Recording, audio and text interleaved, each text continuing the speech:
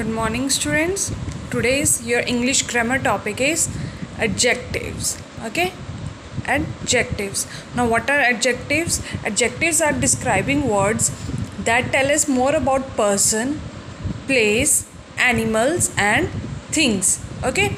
So, what are uh, describing what? Describing what tell us about the sorry, adjective are uh, describing words. Okay, they tell us about the person, place, animal, and things they tell us what kind of how many how much and what color person places animals and things are. Again i'll repeat okay? Adjectives or describing what they tell us about what kind of how many how much what color etc person places animal and things are. For example rohini has a pink dress. Pink is what? It's a color okay pink is a color. It was an interesting uh, so interesting story. What kind of story it was? It was interesting. So we are talking about kind aware. Okay. Father bought ha- sorry. Father bought four chocolates. How many chocolates father bought? Four. Total number how many? Four. Okay.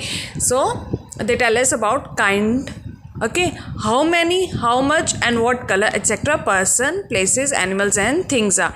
Now next position of adjectives. Adjectives are usually placed before the noun. Listen it carefully bache. What this is? Adjectives are usually placed before the noun. Okay they describe but sometimes they may be placed after the noun as well.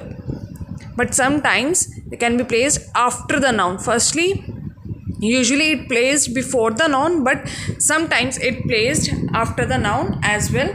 For example he is an old man. Man is what? A noun? Okay. So adjective is what? Old.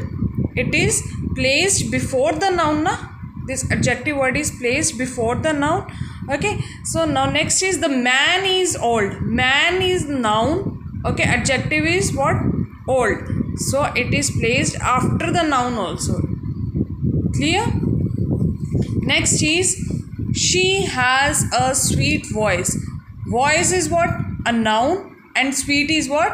A adjective. Okay? It is placed before noun. Her voice is sweet. Voice again is what? You all know that it's a noun. Okay? It is placed after the sweet adjective is placed after the noun okay. Now let's start with the types of